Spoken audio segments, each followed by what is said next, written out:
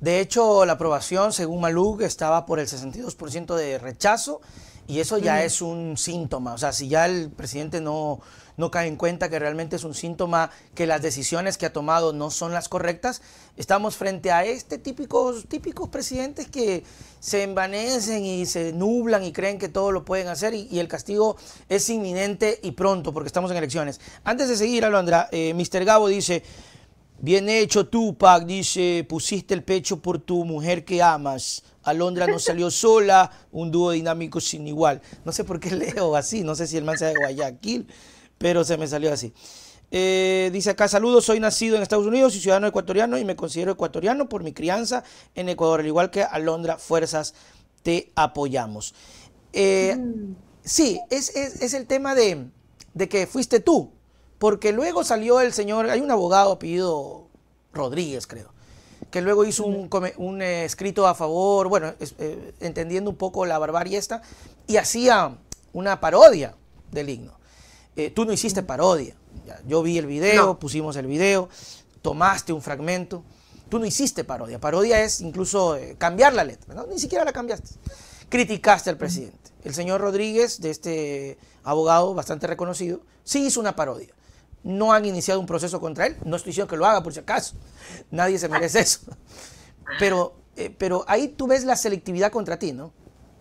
No, Nelson, a ver, tú más que nadie sabes lo que es una parodia o una sátira. Tú eres. Es una, burla. Claro, es una burla eh, fina. profesional. Espectacular, tú haces reír a las personas, tú, o sea, tú más que nadie sabes lo que es eso. Y efectivamente, como tú dices, esto no fue para nada una, una parodia, fue una canción hecha desde cero cantando al inicio una estrofa del himno nacional. Entonces, básicamente eso. Felipe Rodríguez, el abogado, quien hizo un artículo espectacular al respecto y al final dice, y voy y lo hago yo, y le cambia la letra del himno y efectivamente como diciéndole, no, molesten, o sea, esto es absurdo.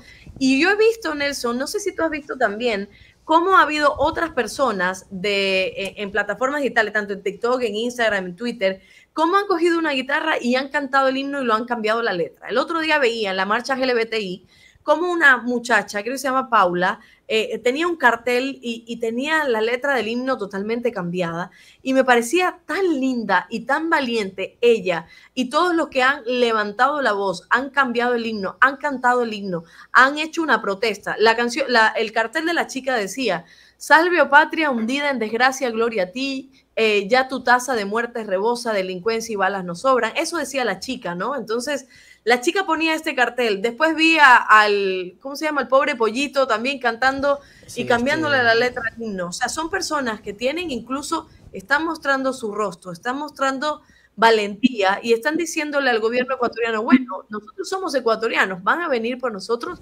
van a hacer algo porque se dan cuenta de lo absurdo, se dan cuenta de lo violento, se dan cuenta que simplemente lo, cometido por el gobierno es un acto de xenofobia, un acto de maldad, un acto de violencia. Y la gente, ya te digo, eh, está a favor de los derechos, está a favor de la libertad de expresión, más allá si cualquier tendencia, pero se nota, se nota que está cansada de todo lo que hace este gobierno, que al final yo me pongo a pensar que no solo es el tema de la gasolina, el FMI y el IVA, sino que quisieron tapar lo del de New Yorker que, trajeron a un periodista de otro lugar para que mm, eh, eh, pusiera flores alrededor de Novoa y terminamos viendo que Novoa era, vaya, una cosa terrible y que el mundo entero se dio cuenta de que gobernar no sabe, ¿no? Es decir, eh, encontraron en ti esa cortina perfecta para buscar tapar algunas desgracias de este señor, porque imagínate que lo, tuyo y todavía sigue en tendencia, o sea, ya, ya yo, tú ya pasaste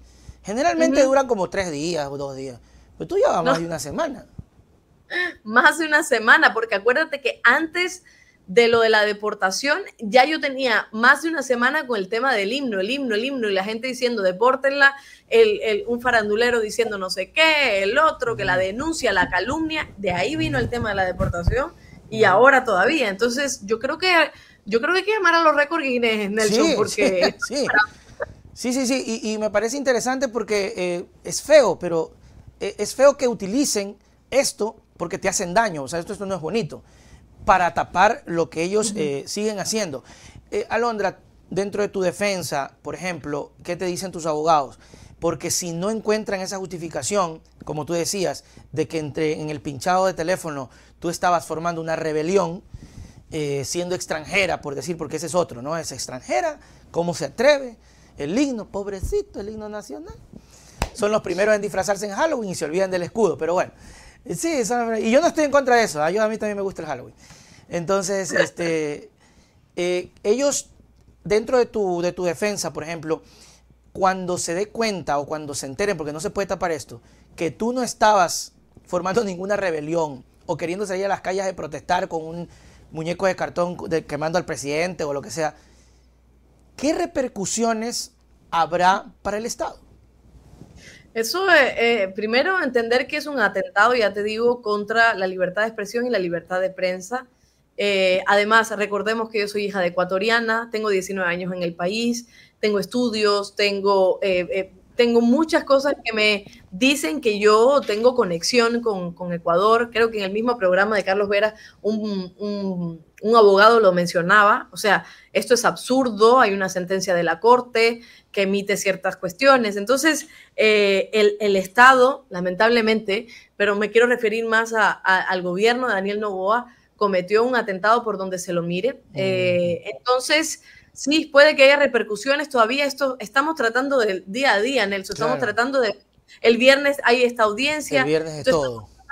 claro, estamos tratando de ver eh, si, si vamos resolviendo paso a paso Sí, eh, em, lo que sí es bueno es que muchos organismos internacionales en defensa de la libertad de expresión, en defensa de los derechos eh, humanos, eh, se han pronunciado y eso es, eso es, he, sentido el respaldo de muchas personas. Entonces, eso es bueno. Siento que no se queda en el olvido, siento que al final va a haber resultados y, y yo no voy a parar hasta que realmente entiendan que, lo que hicieron no solo fue una cuestión de libertad de expresión, sino que no me dieron el derecho a la defensa. Yo no sé por lo que se me están acusando, yo no sé por lo que se me está deportando, yo no, no lo sé. Entonces, creo que es muy importante ir en el paso a paso. Tengo unos abogados impresionantes y pues adelante hasta el final. Eso, eso es interesante porque es cierto, al final del camino no te están diciendo con claridad por qué, y creo que ese es uno de los principios básicos, ¿no? Señorita se la detiene por esto, señorita se la saca por esto, señorita se inicia un proceso hasta por esto, incluso en las investigaciones, cuando no es fragrancia, te dicen, señor, usted está denunciado y se va a iniciar. Eso es básico. Si tú no tienes eso, eh, creo que es de fraude procesal. Yo no sé, no entiendo muy bien el término de los abogados, pero eh, se puede hacer ese tipo de denuncias en, ese caso. El día viernes eh, se va a analizar, creo que, el recurso que ustedes pusieron para una medida cautelar. Si esto falla a favor, tú puedes regresar. A ver, sí, planteémoslo así. eso es lo que. Tú te fuiste. Sí, perdón. Sí. A ver, te fuiste antes porque tenías miedo de que efectivamente vengan y como ya eh, tú fuiste literal la tendencia una semana, qué bacán hubiese sido ir con tanques, Robocop, Power Rangers a detenerte y sacarte.